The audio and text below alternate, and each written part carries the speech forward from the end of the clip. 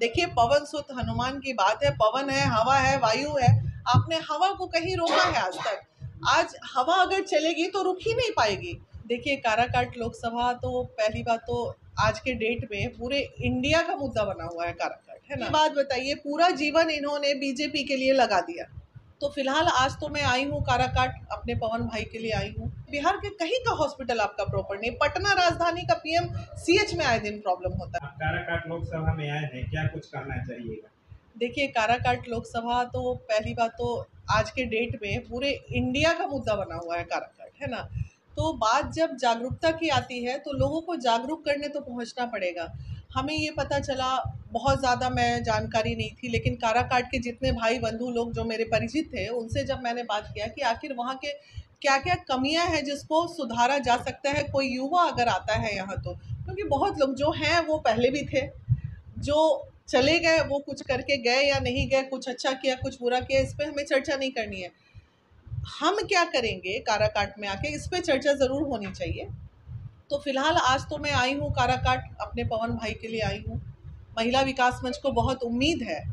महिला महिला विकास मंच आज तक कभी भी किसी मंत्री, विधायक या किसी की मार्केटिंग में कहीं नहीं गई पवन भाई से एक उम्मीद है कि कोई युवा, हम पवन भाई एज अ सिंगर और वो अपने प्रोफेशनल लाइफ में क्या है, हम उसके लिए नहीं आए। हम उसके लिए आए हैं कि वो एक युवा है और युवा होने के नाते हमें ये उम्मीद है चूँकि उनको मैंने बहुत करीब से कुछ दिन पहले उनके काउंसलिंग के दरमियान मुझे उनके साथ रहने का मौका मिला तो मैंने देखा कि ये वो नहीं है जो बाहर मीडिया में बातें चलती हैं। बहुत ही दिल के हम्बल बहुत ही ज़मीनी लेवल लड़के ये मुझे दिखे। तब मुझे लगा कि नहीं, बातें, बाहर जितनी बातें सोशल मीडिया पे चलती हैं, उसमें सारी सच्चाई नहीं होती है, ये हम पहले जान लें। तो धरातल पर जब आए तो लगा नहीं, इसी बीच में चुनाव का माहौल आ गया। फिर पता चला भाई आसनसोल से टिकट मिल गया। सब लोग खुश हो गए कि भाई आसनसोल जा रहे हैं भाई। फिर पता चला कोई विवाद हो गया।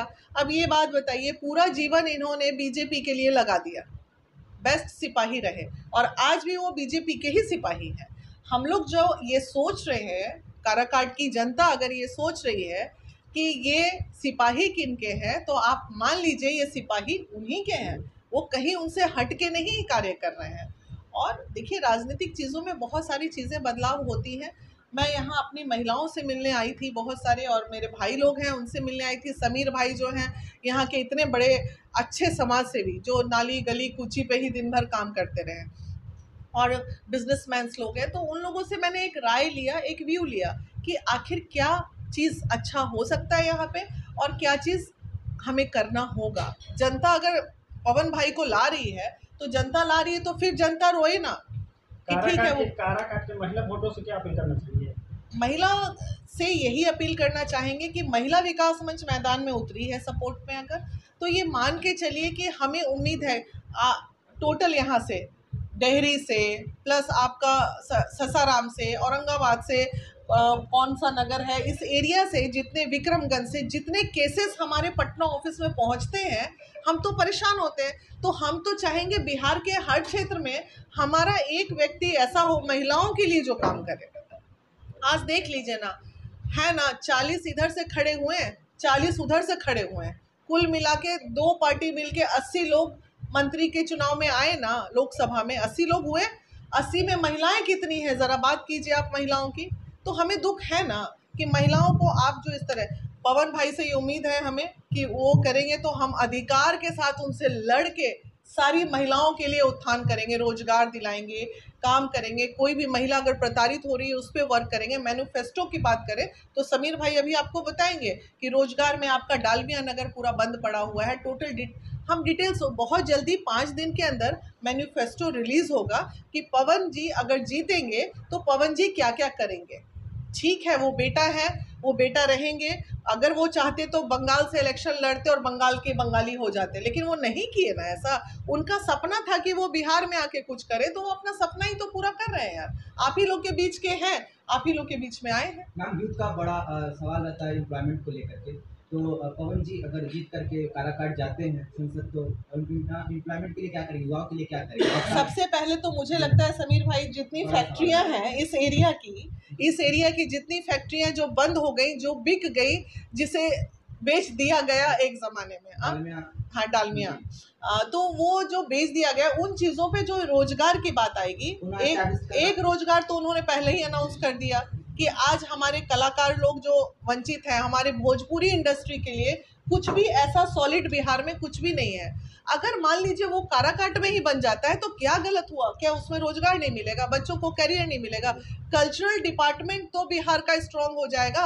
अरे एक डिपार्टमेंट तो स्ट्रांग उन्होंने पहले ही बोल दिया। उसके बाद आपका जितने रोज़गार पे बात होगी स्वास्थ्य शिक्षा और रोज़गार। इस पे बात करनी है। हॉस्पिटल में चले जाइए हॉस्पिटल प्रॉपर नहीं है बिहार के कहीं का हॉस्पिटल आपका प्रॉपर नहीं पटना राजधानी का पीएम सीएच में आए दिन प्रॉब्लम होता रहता है इस पे वर्क करने की ज़रूरत है अच्छा एक बात बताइए पवन सिंह एक अभिनेता है तो क्या जीत के बाद वो काराकाट में फ़िल्म की शूटिंग कर सकते हैं क्या लगता है? अच्छा क्यों नहीं करेंगे? एक बात बताइए कि अगर वो अभिनेता हैं और उनका ये बिज़नेस है ये प्रोफेशनल लाइफ है तो एक प्रोफेशनल लाइफ जीने के लिए सिस्टम काम करता है ना बाबू? कोई अपना काम धाम छोड़ के समाज के हाँ तो इसमें वो रोज़गार का संभावना तो दे ही रहे हैं ना। अगर वो एक लीडर के रूप में आ रहे हैं, अब इतना लोग बने ना आपके बीजेपी में, निरहुआ जी हैं और भी मनोज तिवारी हैं तो ठीक है, वो लोग अपने कैरियर को ख़त्म करके वहाँ पे लगे हुए हैं, उसके बावजूद भी बहुत बेटर नहीं दे पा रहे। और कैरियर को अगर साथ में चलाएँगे तो नए नए युवाओं को मौका मिलेगा सामने आने का। पवन सिंह के काराकाट लोकसभा में आते ही पूरा लोकसभा पवनमय हो गया इस पर क्या कहना चाहेंगे? देखिए पवन सुत हनुमान की बात है पवन है हवा है वायु है आपने हवा को कहीं रोका है आज तक। आज हवा अगर चलेगी तो रुक ही नहीं पाएगी। तो ये हवा है इसमें तो कुछ हम कर ही नहीं सकते हैं।